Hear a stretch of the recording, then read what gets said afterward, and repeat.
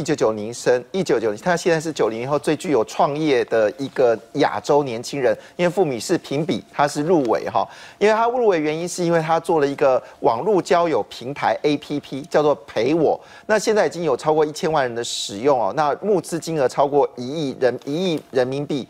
那为什么他这么爆红呢？因为他是全世界唯一能够在十秒钟立刻找到可以跟你聊天的异性朋友。杀不杀？很杀吧？开不开心？开心哦。那我们先谈这个人哈，这个人很特别。第一件事情是他跟我儿子同个年纪，不是，这不是重点。重点是什么呢？其实他在高中的时候并不被人家看好。他那时候班上他在念惠中，是广东惠中中学。那全班有四十八个学生，他是稳定倒数前十名。嗯，好，但是那时候大概同学认为是老师认为说他大概就是在省内找个大学念念就 OK 了。可是呢，这个年轻小伙子他可不这么想，他觉得他可以念中山大学。当然别人就笑他是不可能的。但是呢，后来他就在就是在准备要念就是要求考试。的时候呢，发现北大有一个新的机会，就是用面试的方式申请到学校。嗯，然后呢，他就一个人单身冲上去，嗯，写了一篇很棒的作文，嗯，竟然让他念。北大，嗯，他是会，而且重重点是大那个呃，就是面试他的老师哈，还真不知道惠中是哪个学校。嗯，他文笔非常好，他数学超烂的，嗯，结果他就就就念了北大历史系，而在校中他在学校是风云人人物，而且他好像开了脑一样，文章啊、学术啊、成绩啊。都不错，而且竟然他毕业的时候，北大毕业的时候，美国竟然有六所大学给他入学通知，嗯，这简直是开了眼呐。那后来选择宾夕法尼亚大学，而且他立志将来要回去做这个南方早报的记者，就回中国。但是呢，有一阵消息打打打打碎他的梦，因为呢，当时华盛顿邮报被谷歌给给买走了，阿妈总被阿妈总买走了，他幻梦。幻梦醒，他说：“原来做一个作作家这么不值，做个记者这么凄惨。”他就开始注意到说：“也许我应该去网络去发展一下。”就果不其然，二零一四年他就被入选成为就是优秀年轻人，而被马云给看到。所以这故事告诉我们一件事情啦，就是哈，见风要记得转舵。如果做记者不行，赶快转转网络。你知道他多成功吗？谢谢你，谢谢你，建明哥，我知道了。好，我们来看看他的战绩啊。他买了比特币，赚到；嗯，他买了特斯拉，赚了四倍。所以他这个转弯转弯之后，发现到原来进入的这个商务网络世界是这么的美好，所以他才建立决定筹资，在马云的这个支持下，筹资建了立了这个陪我 A P P，然后现在身价也是上亿。重点是这里啦。你想想看，一个社交平台用户一千万，这是多有价值的事情，对对啊，对不对？哈，这是非常非常有价值。所以基本上当时有许多呃著名的创投家都看好他的这个 A P P。好，那打电动也可以打出一片天吗？为什么我们家小孩打电动都没有打出一片天？对，我要 都感觉把他的人生打了破一个大洞哈。真的，而且美人姐你知道吗？人家不止一片天，他的身家是一千八百亿。我一开始看到这个资讯的时候，我以为我看错。好，这个人叫做林奇哈。呃，他其实二零零九年的时候去创立了游牧网络，这游族网络这个这家公司，然后二零一四年的时候他借壳上市。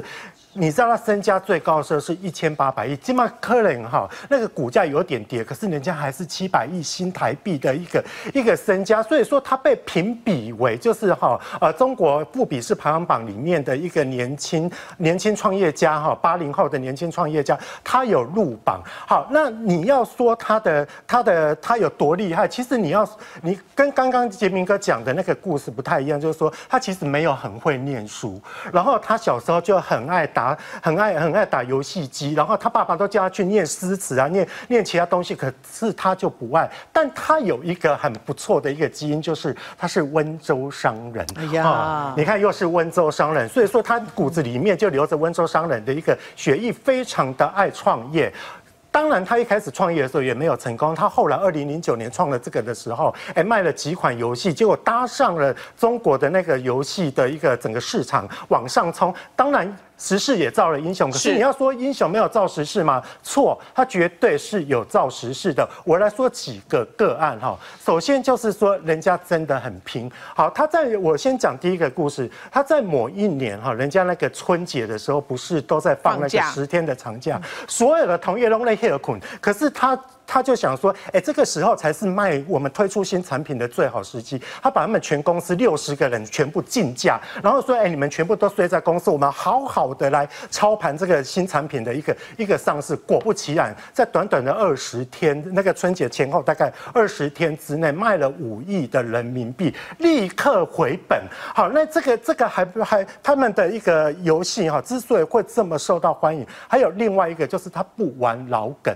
我们知道说很多游戏，哎，不外就是三国啦，三国啦，第二啦，阿伯的是武侠啊，要不然就是兵法，要么就是历史这些东西。可是呢，他一定会创造新梗。他有一个最知名，就是林志玲代言的《女神联盟》。哎，你知道吗？光他创造这些游戏，听说他每一个游戏要创造十五个月。然后另外一个就是说，哎，我们一般游戏成功了之后。另外一个就顶多桌游变成手游了不起了，对。可是你知道他非常厉害，他就觉得说，哎，我要把赚来的钱来投资投资在电影，因为他用的是一种手法叫做迪士尼化，是。他模仿迪士尼的一个一个一个手法，他觉得说，唯有跨足到拍电影，我才能够把把艺人经济，然后把周边商品，然后把电影跟跟动漫，还有包括像游戏这样一一的结合，哎，结果果不其然。他就进军了好莱坞。比如说，你看哈，好莱坞的一些 IP，他都可以用了，对不对？好，聂隐娘也是，他看的还不是电影的收入，他看的是后面 IP 的发酵。而且你知道吗？他现在计划要拍六到十，哎，六到十片十部的一个电影，而且第一部片就是梅尔吉伯逊他帮他指导的一个战争片。呀，OK，是。所以呢，你知道，也就是说，像这些小孩，他都不是毕业才找工作的，在学校的时候就很。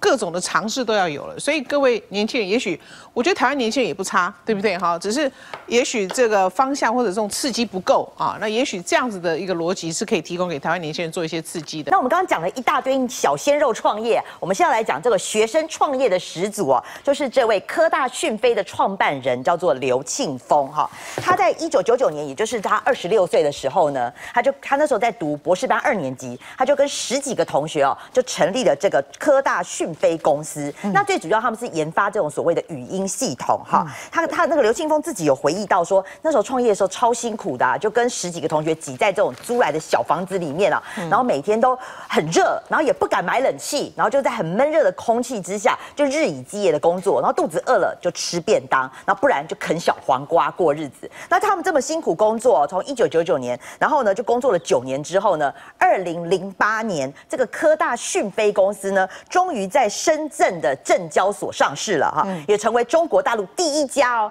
第一家在校的大学生呢就能够创业，而且是上市的公司，这非常了不起的一个记录啊。那当然了，最了不起的是今年六月的时候呢，那个麻省科技的呃麻省理工科技的一个评论啊，就选出了全球五十大最聪明的公司，就这个刘庆峰的这个科大讯飞公司呢，就排名了第六名，而且是全中国的第一名。好好，那但是呢，他得到这个消息之后，记者去访问他，就说：“哎呀，你的公司是全中国最聪明的公司。”哎，他就说这个没有让他那么的高兴，他觉得最高兴的是说，他有一个美国的一个老乡，一个中国的老乡，他二十六个英文字母一个字都不认识，就他竟然在美国可以成功了，点了一碗蛋炒饭。好，究竟是怎么做到的？好，我们现在当场示范给你看哈，他就是用这个手机的这个 A P P 啊，我把它打开来，然后呢就开始讲哈。我要点一盘蛋炒饭，然后你看，非常的迅速就可以来翻译了。I'd like to order a plate of fried rice with eggs。诶。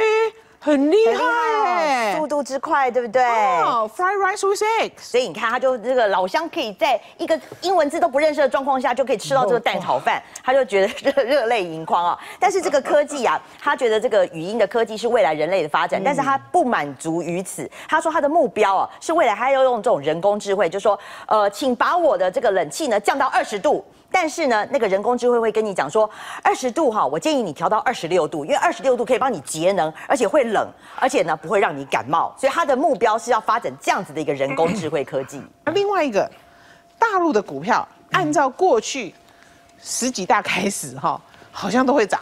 对，没错。回归到我们比较投资面来看的话，到底中国这次的十九大跟我们台湾的投资人有什么样的关系？我们给大家看一下，这是我们整理出来的过去的这个历次，从十四大一直到十八大，你可以发现到前一个月跟后一个月，我们先看这个最最后的这个平均值来说哈，前一个月呢。平均涨一点一趴，但是你看后三个月平均涨多少？十二点五八趴，也就是说告诉你什么？这一次十九大开完之后的后三个月。股市是很容易涨的，那当然为什么容易涨？因为我们可以看到说，它开会时间都是十月、十一月、十二、九月这附近嘛，刚好是圣诞节行情。对，以过去的历史经验来说的话。第四季，尤其从十月底一直到隔年二月，这个全球股市都是最会涨的时候，所以现在中国股市可能会表现不错。另外一方面来说，中国股市其实之前两千零一十五年应该有一次庆祝行情，但是那一次不是被人家搞砸了吗？整个股市从五千一百七十八点一路暴跌，跌了五十趴吗？那跌了五十趴之后呢？现在入股在这个地方打底了很久，已经打底了两三年的这个时间，尤其中国大陆的国家队在底部买了四点二兆人民币，撑住了。对。股底已经撑住了，未来呢？等到习大大上台之后，他要做什么事？他要让中国人民这个富起来，富起来怎么富？他说了，不能够在房子是用来住的，不是用来炒的，所以不可能去炒房，资金不会到房地产去，那会到哪里去？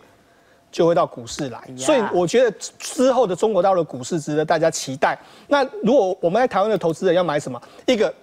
连接入股的 ETF，这个我觉得大家可以考虑。另外一个就是说，因为中国大陆富起来之后，它整个消费力道起来，跟原物料相关的，像纸啦，或者像这个钢铁了这些，我觉得会重新再来一次。我觉得这都值得大家留意。你讲到纸，你知道双十一要来了。嗯，我那大陆的朋友说，双十一之后他回家找不到那个电梯了，对，全部是纸箱啊，对啊，就是各个是是整个住户大家哦，大家。一直点一直点啊，寄的货都来了，堆了整个那个管理员管理中心的全部都是纸箱，他要这样拨开来才能找到电梯，所以你要把 纸箱都已经在缺